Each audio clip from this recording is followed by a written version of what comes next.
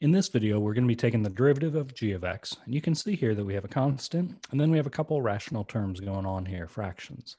Um, to do so, we're going to strategically rewrite it so that we're allowed to use what we refer to as the power rule for taking derivatives.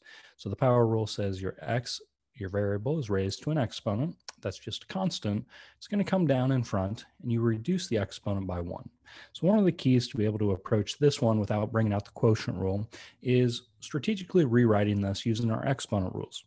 So we can rewrite it, bring along the 4, but then you'll notice that we have x to the first power down in the denominator. If we want to move that up to the numerator, we can rewrite it using a negative exponent.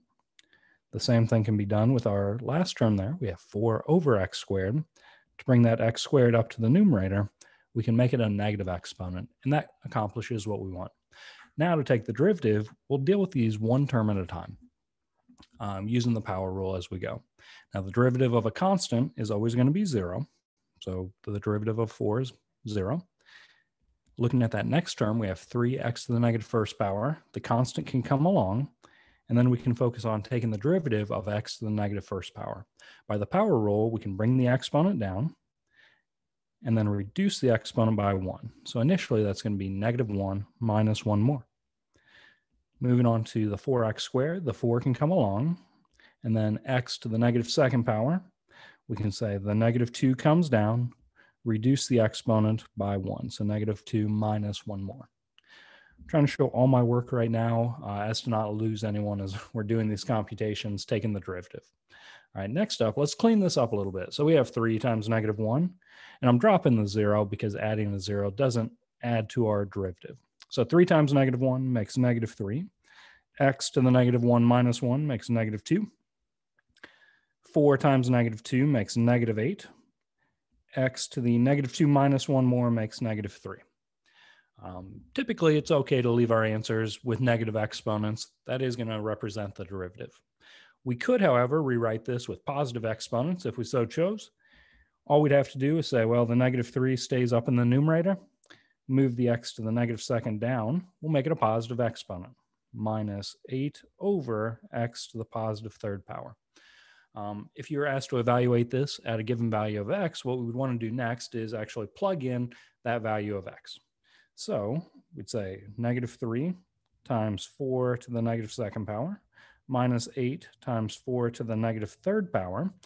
And I would probably use this if I were allowed a calculator, um, that we could just punch all of this into our calculator and go ahead and get a decimal coming out here, negative 0.3125.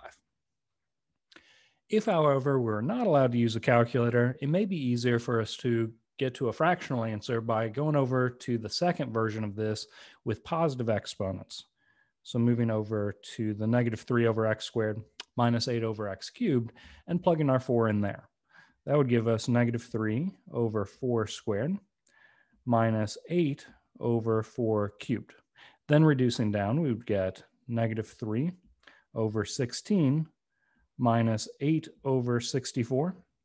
In that second fraction, I believe those are both multiples of 4, so we could reduce down saying negative 3 over 16 minus uh, 2 over 16 with a common denominator, we could combine these together and get negative 5 over 16, which is equivalent to our negative 0.3125. All right, next, let's move over to taking the second derivative. So to do so, what I'm going to do is use this version of my first derivative with the negative exponents.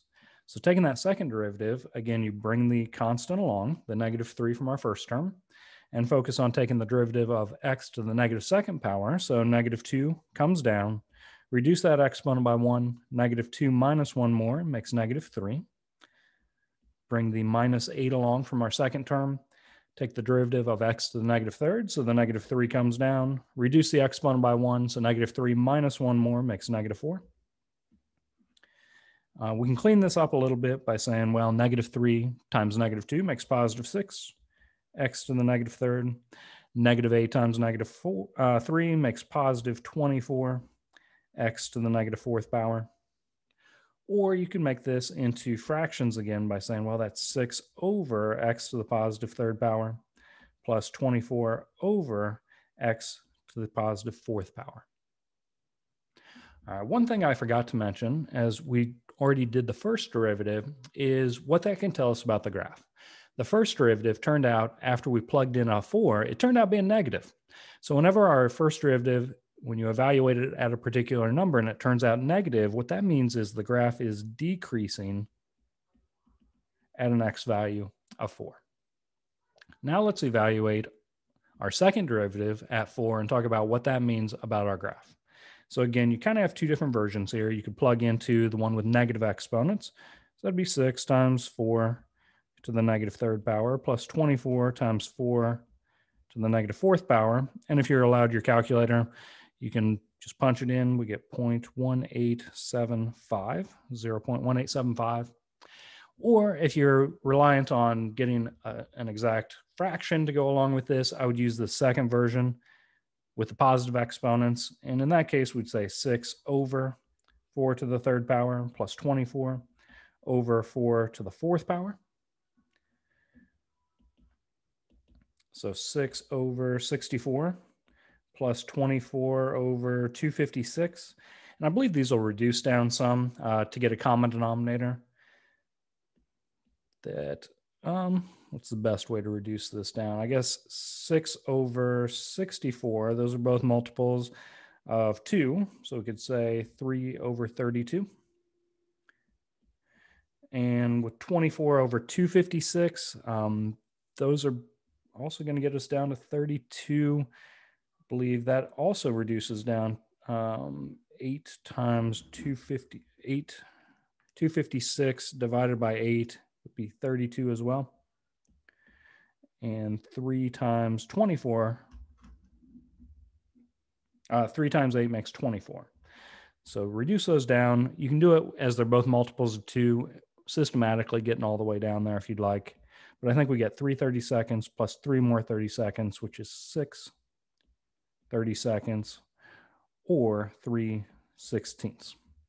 Um, 3 sixteenths is equivalent to that 0.1875. All right, so to finish this up, notice we took the second derivative and then we evaluated this at a value of 4. So at an x value of 4, it turned out being positive in our second derivative.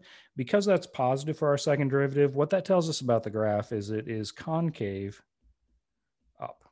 Now, if that had been a negative, uh, as we evaluated at 4 for our second derivative, it would be a concave down for our graph. All right, hope this helps. Kind of an involved problem, but good luck.